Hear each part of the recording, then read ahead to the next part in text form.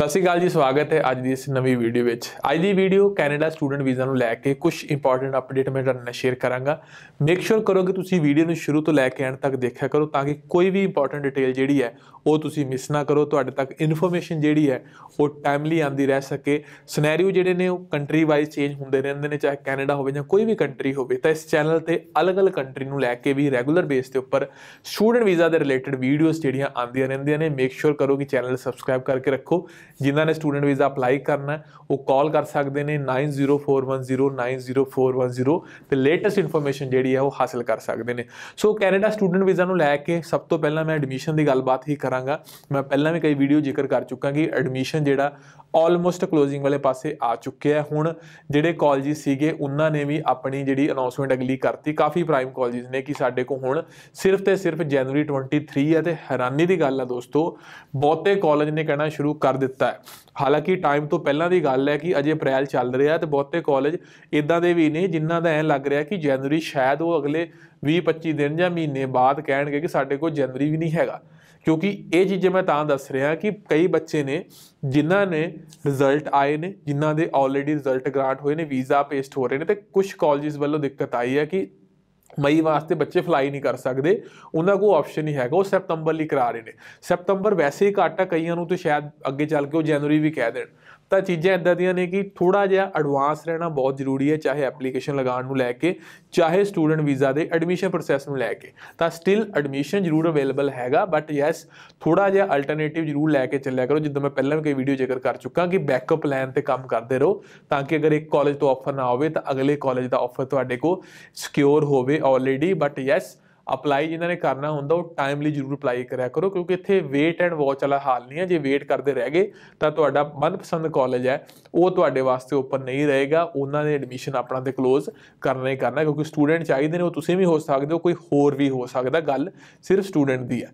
ਇਸ ਤੋਂ ਬਾਅਦ ਜਿਹੜੇ ਰਿਜ਼ਲਟ ਵਾਲੇ ਬੱਚੇ ਪੁੱਛਦੇ ਨੇ, ਕਿਉਂਕਿ ਹੁਣ ਅਪ੍ਰੈਲ ਵੀ ਸਟਾਰਟ ਹੋ ਚੁੱਕਿਆ ਹੈ ਸੋ ਆਲਮੋਸਟ ਜਿਹੜਾ ਆਪਾਂ ਅਪ੍ਰੈਲ ਦਾ ਟਾਈਮ ਵੀ ਕਾਫੀ ਲੰਘ ਚੱਲਿਆ ਕੁਝ ਦਿਨ ਨਿਕਲ ਚੁੱਕੇ ਨੇ, ਤਾਂ ਰਿਜ਼ਲਟ ਦੇਖੋ ਕਾਫੀ ਬੱਚੇ ਜਿਹੜੇ ਨੇ, ਉਹਨਾਂ ਦਾ ਥੋੜਾ ਪੇਸ਼ੈਂਟ ਜਵਾਬ ਦੇ ਰਿਹਾ ਕਿ ਰਿਜ਼ਲਟ ਨਹੀਂ ਆ ਰਹੇ। ਤਾਂ ਮੈਂ ਦੱਸਦਾ ਕਿ ਰਿਜ਼ਲਟ ਤੁਹਾਨੂੰ ਵੀ ਪਤਾ ਹੈ ਕਿ ਰੈਗੂਲਰ ਬੇਸ ਤੇ ਆ ਰਹੇ। ਮੈਂ ਰਿਜ਼ਲਟ ਦੀ ਵੀਡੀਓ ਵੀ ਸ਼ੇਅਰ ਕਰ ਚੁੱਕਿਆ ਸੀਗਾ। ਲਾਸਟ ਕੁਝ ਵੀਡੀਓ ਤੁਸੀਂ ਅਗਰ ਦੇਖੋਗੇ ਤਾਂ। ਤਾਂ ਉਹ ਚੱਲ ਰਹੀਆਂ ਨੇ ਚੀਜ਼ਾਂ।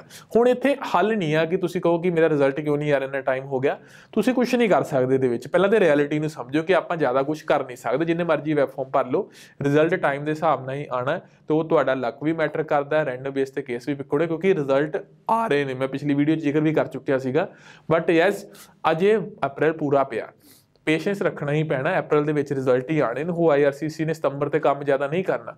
ਸਿਰਫ ਜਿਹੜੇ ਰਿਜ਼ਲਟ ਨੇ, ਉਹ ਜ਼ਿਆਦਾਤਰ ਜਿਹੜੇ ਨੇ, ਉਹ ਸਿਰ ਤੇ ਸਿਰਫ ਮਈ ਟੇਕ ਦੇ ਹੀ ਆ ਰਹੇ ਨੇ ਤੇ ਉਹਦੇ ਵਿੱਚ ਹੀ ਆਣੇ ਨੇ। ਸੋ ਇੱਥੇ ਇੰਨੀ ਟੈਨਸ਼ਨ ਨਾ ਲਓ ਰਿਜ਼ਲਟ ਵਾਲੇ ਕਿ ਮੇਰਾ ਰਿਜ਼ਲਟ ਨਹੀਂ ਆਇਆ, ਮੇਰਾ ਰਿਜ਼ਲਟ ਨਹੀਂ ਆਇਆ, ਆਸ-ਪਾਸ ਤੋਂ ਆ ਗਿਆ। ਤਾਂ ਤੁਹਾਡੀ ਨੰਬਰ ਵੀ ਜਿਹੜਾ ਉਹ ਆ ਜਾਏਗਾ ਜਲਦੀ ਬਟ ਪੇਸ਼ੈਂਸ ਰੱਖਣ ਦੀ ਲੋੜ ਹੈ। ਤੁਹਾਨੂੰ ਆਲਰੇਡੀ ਸਤੰਬਰ ਇਨਟੇਕ ਜਿਹੜੇ ਬੱਚੇ ਨੇ, ਉਹ ਫਾਈਲ ਲੌਜਮੈਂਟ ਵਾਲੇ ਵੀ ਗੱਲਬਾਤ ਕਰ ਰਹੇ ਨੇ ਕਿ ਫਾਈਲ ਲੌਜਮੈਂਟ ਕਰਦੀ ਤੇ ਮੈਂ ਵੈਸੇ ਮੈਂ ਬਾਰ-ਬਾਰ ਇਹ ਜ਼ਿਕਰ ਕਰਦਾ ਰਹਿਣਾ ਕਿਉਂਕਿ ਕੁਐਸਚਨ ਵੀ ਬਾਰ-ਬਾਰ ਰਿਪੀਟ ਆਉਂਦਾ ਰਹਿੰਦਾ। ਹਰ ਵੀਡੀਓ 'ਚ ਇਹ ਕੁਐਸਚਨ ਆ ਜਾਂਦਾ ਲਾਈਵ ਸ਼ੋਅ ਕਰਦੇ, ਉਹਦੇ ਵਿੱਚ ਵੀ ਕੁਐਸਚਨ ਆ ਜਾਂਦਾ।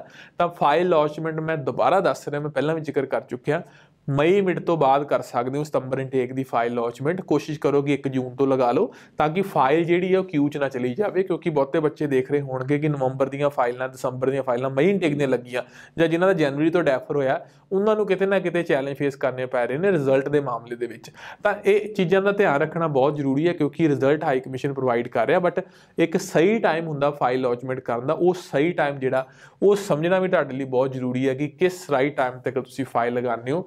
ਤਾਂ ਤੁਹਾਡਾ ਜਿਹੜਾ ਰਿਜ਼ਲਟ ਹੈ ਉਹ ਆ ਸਕਦਾ, ਹਾਂ ਗਾਰੰਟੀ ਕੋਈ ਨਹੀਂ ਹੈ ਬਟ ਸਟਿਲ ਇੱਕ ਸਹੀ ਟਾਈਮ ਤੇ ਸਹੀ ਡਿਸੀਜਨ ਲਾਓਗੇ, ਤਾਂ ਕਾਫੀ ਹੱਦ ਤੱਕ ਬਹੁਤੇ ਬੱਚਿਆਂ ਵਾਸਤੇ ਉਹ ਫਾਇਦੇਮੰਦ ਹੀ ਜਿਹੜਾ ਹੋਏਗਾ। ਹੋਰ ਇੰਪੋਰਟੈਂਟ ਵੀਡੀਓ ਵਾਸਤੇ ਚੈਨਲ ਨੂੰ ਸਬਸਕ੍ਰਾਈਬ ਕਰ ਲਓ। Latest video latest update regular base ਤੇ ਉੱਪਰ ਇਸ ਚੈਨਲ ਤੇ ਆਉਣ ਵਾਲੇ ਟਾਈਮ ਦੇ ਵਿੱਚ ਵੀ ਆਉਂਦੇ ਰਹਿਣਗੇ ਸੋ ਮੇਕ ਸ਼ੋਰ ਕਰਕੇ ਰੱਖੋ ਕਿ ਚੈਨਲ ਤੁਸੀਂ ਸਬਸਕ੍ਰਾਈਬ ਕੀਤਾ ਹੋਵੇ ਐਂਡ ਬੈਲ ਆਈਕਨ ਨੂੰ ਪ੍ਰੈਸ ਕਰ ਲਓ ਤੇ ਜਿਨ੍ਹਾਂ ਨੇ ਅਪਲਾਈ ਕਰਨਾ ਹੈ ਅਪਕਮਿੰਗ ਇਨਟੇਕ ਵਾਸਤੇ ਸਟੂਡੈਂਟ ਵੀਜ਼ਾ 9041090410 ਤੇ ਕਾਲ ਕਰ ਸਕਦੇ ਹੋ। ਅੱਜ ਲਈ ਦੋਸਤੋ ਇੰਨਾ ਹੀ। ਧੰਨਵਾਦ।